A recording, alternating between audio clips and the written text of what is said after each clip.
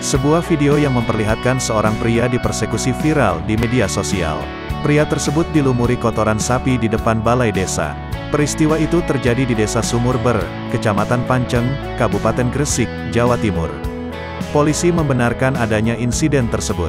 Pihaknya juga akan melakukan pemanggilan terhadap sejumlah orang terkait kasus tersebut. Video tersebut viral di grup Facebook Humas Mabes Polri Indonesia. Diunggah akun Facebook bernama Arifin Latif. Ada tiga video yang diunggah, masing-masing berdurasi 11 detik, 30 detik dan 45 detik. Dalam video tersebut, seorang pria yang dipersekusi bernama Suhud. Wajahnya diolesi teletong atau kotoran sapi oleh sejumlah pria diduga dilakukan di Balai Desa Sumurber pada Sabtu tanggal 22 Januari tahun 2022. Video tersebut viral dan dibagikan oleh pengguna Facebook. Tampak warga hanya melihat aksi persekusi tersebut. Bahkan terlihat seorang wanita mengambil ember berisi kotoran sapi.